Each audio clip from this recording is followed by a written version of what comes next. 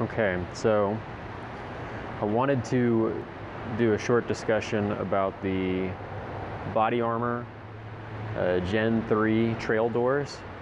As you can see, I've got them on my Jeep, and I really like the way they look. Uh, when I ordered them, I got them because of that, and I needed some trail doors or wanted something to give a little bit of uh, protection from maybe rocks or debris or whatever, and also from people falling out if they're riding in the car. Um, but I've had some issues with them, and the number one issue that I've noticed other people seem to have had online as well is the rattle of these doors. And so, to give you an example of of some of them well fitted and some of them not well fitted, I want to show you mine. So, I had some friends who helped me mount my doors, and one of them, this is my rear right passenger door. It is solid. It will not move. It is really well in there. You can see, I'll try and get a good view here. You can see that the the mechanism is really tight. It doesn't move. When you open it up, you can see kind of even where the the teeth kind of come down on this. And to get it in, you need to push it in and push it down. And then when it clicks like this, it is solid. It does not move at all. Now I cannot say the same. We'll go around the other side here. I cannot say the same for this other back door, although it's not the worst. So you can see that it's closed, but there's some rattle in it, and it doesn't matter where you mount it. Uh, I know that the the clips are sorry the the locking mechanism is adjustable, but it doesn't seem to matter what you do. Sometimes there is just not enough enough closure between you can see it's it's in the right spot but there's a little bit you know less than a millimeter of distance between where the little bolt here is and where the locking mechanism is. I suspect that's either due to imprecise machining or possibly even more to the power of the spring. It's not causing enough compression but anyway it's super annoying. Most of the times it doesn't rattle, but if you are uh, going on maybe cobblestones or uh, on brick or something like that, or even on gravel, it can just become maddening because how much rattling is going on. So there are a couple solutions, um, and one that I found that worked really well is cork, a wine cork. So there's a different solution for the front and for the back. So for the front, you can see that the uh, the bolt here is right behind this panel on the door. And so the way to resolve this this vibration and rattling issue is to get a vibration isolator between there. Um, and so what I've done is I've taken a wine cork, you can see, and I've taken some outdoor double-sided mounting tape, which is like maybe from 3M. And what you want to do is get a wine cork. You want to measure measure the distance from the end of here to where it's going to hit on this panel and then give it maybe an extra couple of millimeters so that there's some room for it to expand once the door is closed and cause some some tension some pressure in between there. So you can see when this closes again you kind of have to push them up or in and down to really get them to lock which is another gripe I have about these doors.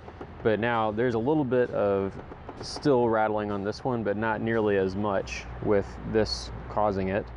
Um, now you can see this is a regular wine cork.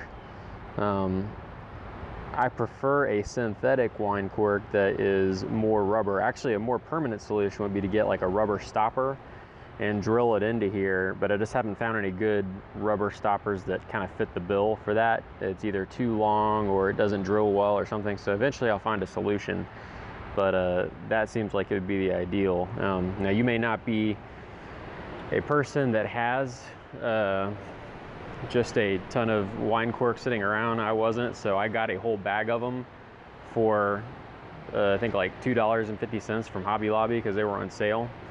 But one thing you can see on this side is I got lucky there was a synthetic one which is kind of rubber and that does a much better job of uh, keeping its keeping its size. So regular cork is eventually over time the compression is going to become more permanent and it won't won't cause as much. So you have to replace it. But this one hasn't really caused any problems.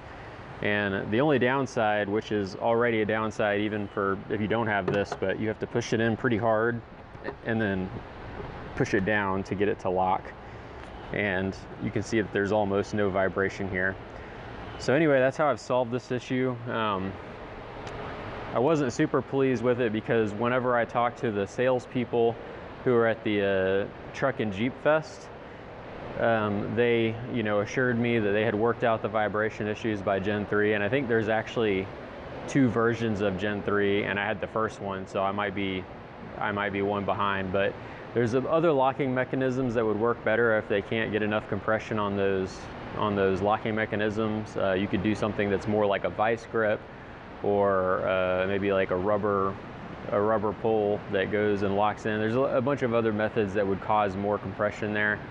Um, so that's my biggest gripe with these doors. But uh, their support's pretty helpful and uh, they still look good.